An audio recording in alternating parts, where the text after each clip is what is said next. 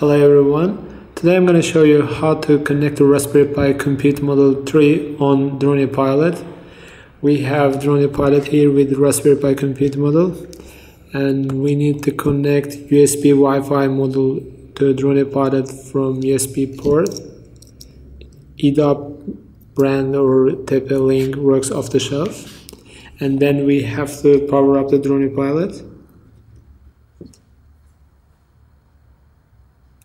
Then we have to wait around 10 seconds to boot. Then we will see Dronee Pilot Wi-Fi on our network on PC.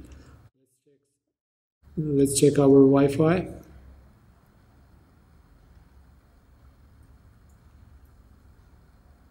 Here we have Dronee Pilot, connected Dronee Pilot.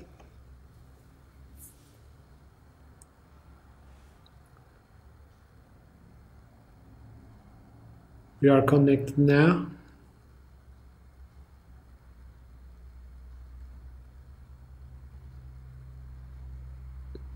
Then we need to go, to PuTTY and then go to shell SSH and then IP address 172.24.11 and then open.